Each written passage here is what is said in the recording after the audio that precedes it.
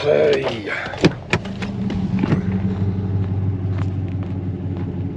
Hey, thanks, whoever you are, for dumping your garbage out here on our farm. That's great.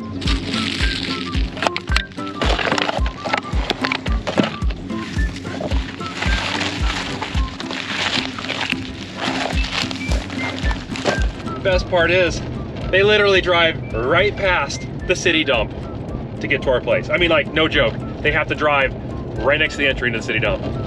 But it said they drive two miles past it out to our property and throw a bag of trash just blowing in the wind. Thankfully I got it before it uh, spread across our whole field.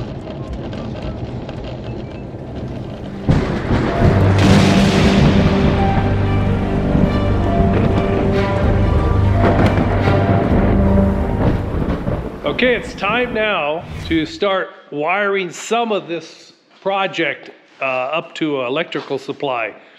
So we decided uh, to go ahead and get a load center with uh, uh 220 breakers so we can use those uh, as switches, but also it can uh, protect the, the motors and the, and the lines and um, going out to, out to the motors. So we've decided on this place right here on this unit because right here is where you're going to adjust the fan and what we did is we got a, a three-phase converter for single phase. So we've got 220 single phase converting into three phase we have a three-phase motor on this fan so we can adjust the speed. And uh, all we have to do is just turn it on and we can turn that knob and adjust the speed of the fan. What I'm gonna do is I just put this up there, clamped it on, uh, I'm gonna bo bore some holes, put a bolt through, weld on the backside so the bolts stay in there, and uh, also right here. But we also have to protect this unit. This is the guts of the uh, three-phase converter. And uh, it has a fan in the bottom so it can uh, remove the heat. And so what I'm gonna do is I'm gonna take this box that we had here, I'm gonna cut this out, I'm gonna put uh, some uh, expanded metal, um, tight expanded metal on the bottom so that can have airflow in this. This is going to be attached to the back of this unit, so it'll sit behind here. Uh, you won't even notice it there. Uh, but that way, if we need to get access to it, we can just open up that back door, pull it out for whatever reason, and uh, service or whatever, but I don't expect to do that. Some might find this revolting, I don't. Um, I'm amply able to do this, and so and I get a charge out of it. Hope you guys do too. Let's get busy.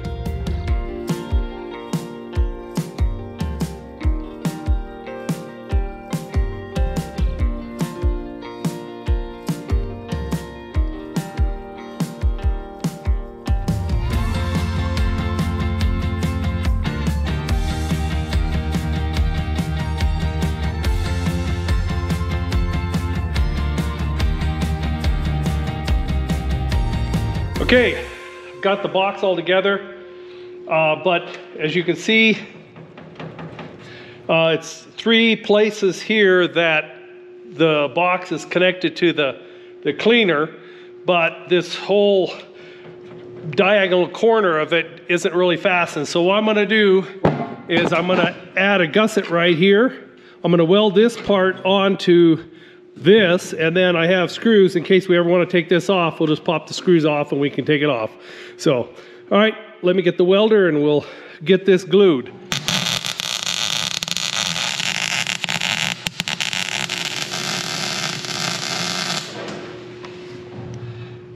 Okay.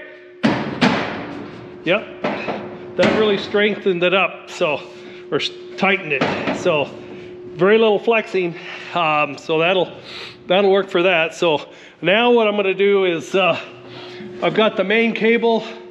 I'm gonna bring it up here and I'm gonna start adding some of the wires that go to the, the different uh, motors. And uh, so I'm gonna get the cable, I'll figure out which way I wanna run it. The cable end will be on that side because that's kind of where we drive next to something with power. Um, and then we can wrap it around that side and it's not anywhere here where we're doing a lot of the work. So, okay, let me decide. If you guys want to comment to where you think it should be, um, yeah, go ahead and comment. in a timely fashion.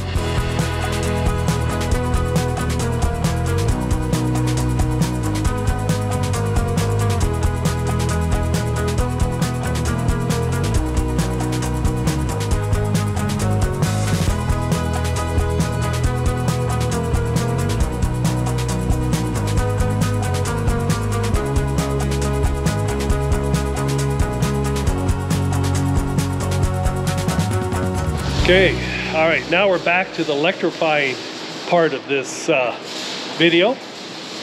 And uh, what I have going on here is we have this, uh, it's a, really an RV cord, about 50 amp for the old motor, uh, mobile homes. They used to use that and plug it into a receptacle. And this is one we had for a while. This is the one we had on P separator, the two screen shaker uh, this is not heavy enough to run those many motors that we're running. And so I'm upgrading this. Um, I had uh, the old plug-in that went on that cord. And as you can see, the it was uh, corroded in here. There's two types of metal on this. Uh, this is kind of a brass with a steel um, and that electrolysis happens in here. And I probably put it together, but I didn't put any electrolysis type of uh, anti-oxidizing. and uh, that's what that's for. And so I'm redoing it. I got a new one. Welding plug is what we use because that way we can plug it into our outlets for the welders. So I'm working with really heavy wire here. It barely fits into the, the these uh, pigtails, and uh, but I'm making it work. And then I'll put it together and, and uh, clamp it on here, and I'll have this end, and the other end will be uh, fastened on there. So anyway, let me finish up the next one and get it ready to be plugged in.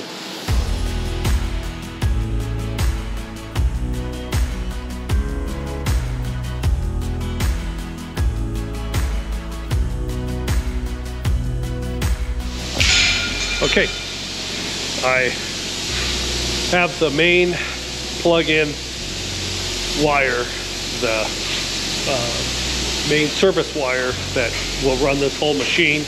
Got the plug done on the other side. I've got it wired into the box panel and then I uh, will need to now run uh, 220 from a breaker over through this into a back box right back there that has the uh, three-phase converter in it. And so I'll power that with 220 off from this and that will uh, change it in from single phase to three phase. Anyway, I'm gonna get this box uh, wired. We're at least gonna get the fan going so that we might run some product in here just to kind of see where we're gonna start the gate uh, that will uh, direct where we catch the flow of desirable product. The rest of it will go out and then into the clean um, cleaning bin. So, okay, let me go get some wire to run this.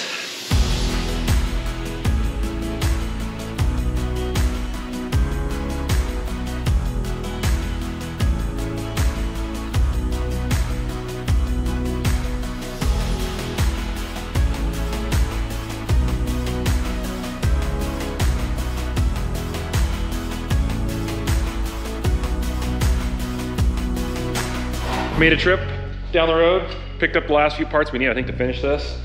Another six inch Westeel AGI auger. And that one is gonna replace the one that we salvaged right here. So Legarms can finish the work over there. It's just kind of short on augers these days, so we had to go to different places to get them, but this one finally came in, we got it. And this was another seven or five inch that a friend of ours from that guy's fab shop used to use to farm with, and um, he sold to us pretty cheap, so we might use that for the screenings as well. So we're um, getting close, but we're gonna clean up a little bit around here. And then um, Legarms has just about got this fabbed up enough where we can start turning the fan on and uh, run some piece through it again like we did before, but now we have a bigger fan, everything's changed. So we gotta kind of figure out now where's everything gonna flow, so then we can figure out where we're gonna put the, we keep saying baffle, I don't know, divider in there, to separate the peas from the splits, the oats, the chaff. Okay, I think we're ready to part some peas for this thing. So we're taking the buckets of the already highly shelled and cracked peas that we keep messing with. We'll dump it through there and kick the fan on and just start playing with some settings. It's gonna make a mess, but it's all I wanted to know. And then we'll know where to start fabricating the inside of the truck. First bucket's in. Okay, I'll turn her on. This is uh, 45.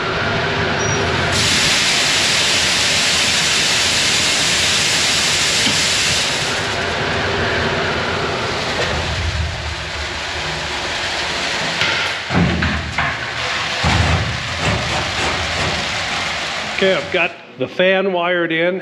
We've been running it, uh, trying out product.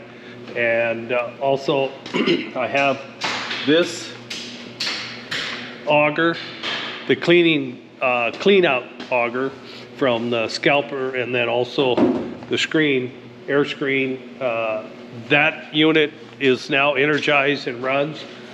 I have the transfer auger from the screening, air screen into the, the scalper. Uh, and, and that mo- motor, uh, we gotta put on, but I gotta run a wiring, so I've gotta hook it to a breaker. I'm gonna, because it goes right across underneath you know, the backside and then runs up the length, I'm gonna actually cut a hole here and have, uh, the wire instead of running down and around and up and over, it'll shorten it. Don't need to be that long. And so I'm gonna go ahead and drill this hole. I'll run the conduit in, then feed the lines in and get it ready for the motor up above there.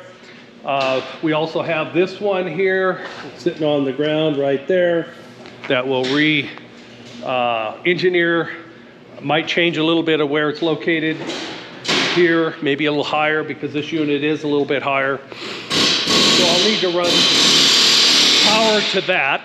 And then the last one is this five inch, which I'll need to run power when we get this established right here uh, to catch the cleanings and then dump it into the cleaning bin, uh, cart, or truck. Hey, Kobe, welcome. Yeah. Yeah, what you been doing today? Huh? Yeah, have you been seeing, checking the farm to see if it's been overloaded with rabbits?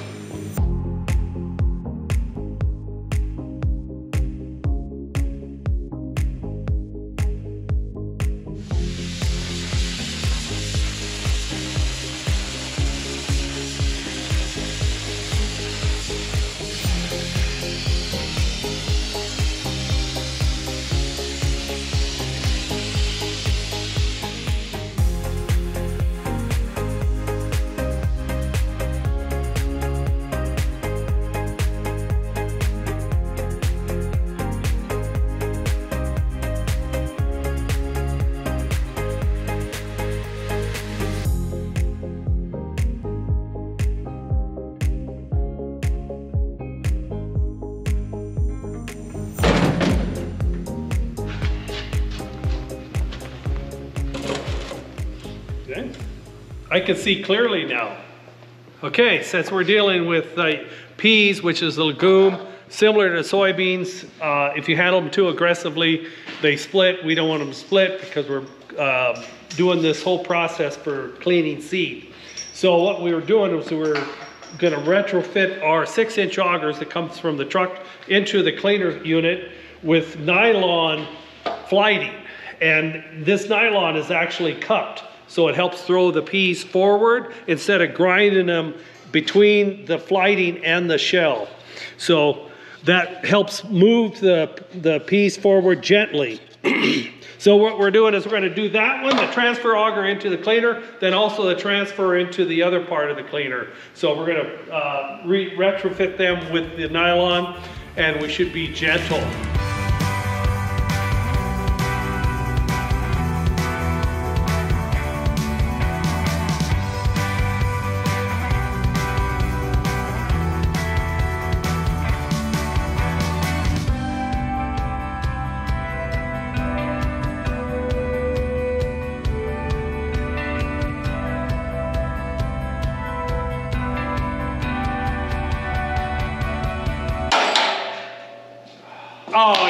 Kidding me. Did that hear me coming? We don't have time for this. Your, truck, your truck's not loud enough. we were getting so much accomplished, and then this guy right here happened to just randomly stop in, and then the accomplishment and efficiency of this shop has increased like 55%. I forgot to, to put not- a, to I not- forgot to put a little negative sign in the very front of that 55%. Yeah, we've just been sitting around eating jerky and talking.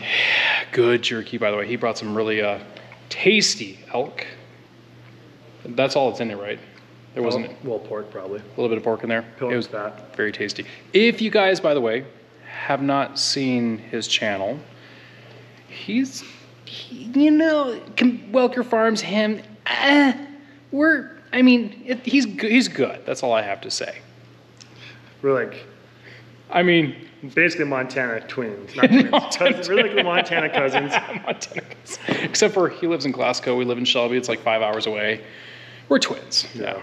But anyways, if you guys haven't checked out his channel, awesome. He does a lot of cool things himself, just like us. Very self-efficient.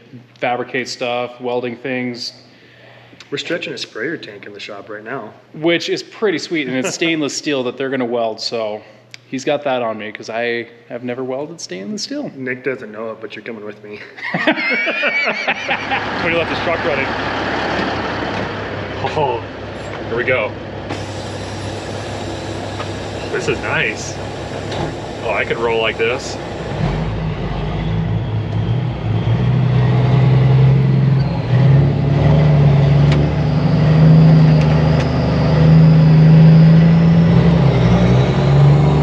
Every truck drives a little different.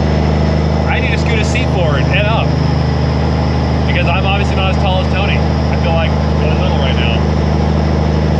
This is nice. No, if he goes with you, he'll clean your shop. Yeah, that's better yet. It's actually cleaner than it's been in a while right now, so it'd be pretty easy work for him.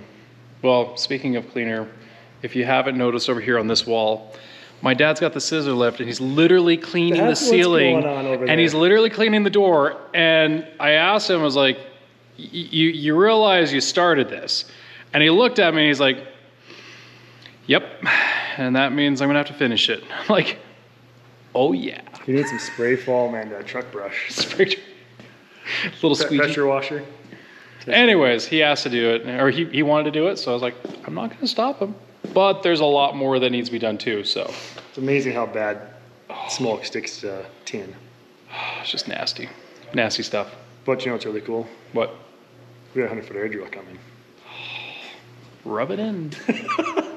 Anyways, I'm gonna let this guy get back on the road because he's got a trip to go all the way back with his nice, beautiful semi that he's got a big full load of oats. And how many oats are on that truck? All of them. All of them. He's taken all I of have, them. I have no idea. Oats are light compared to wheat, so They're, yeah, it's not. I mean, I actually kind of stole some of his. We're gonna use that to kind of run through this thing to make sure it runs well. But, anyways, I'm gonna let you go because you're probably itching to get on the road. Oh boy, here's Tony.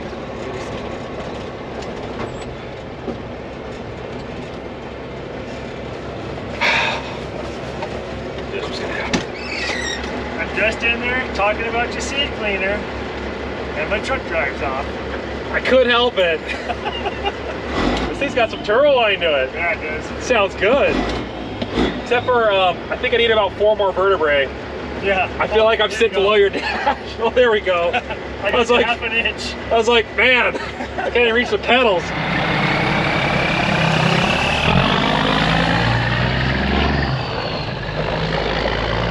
That's fun. You know, we're about seven hours apart, six hours apart. Doesn't very, very often we get to go by each other's places, so when he has a chance to drive by here, I'm glad he stops in. Where were we? Look at that thing. Keep doing it.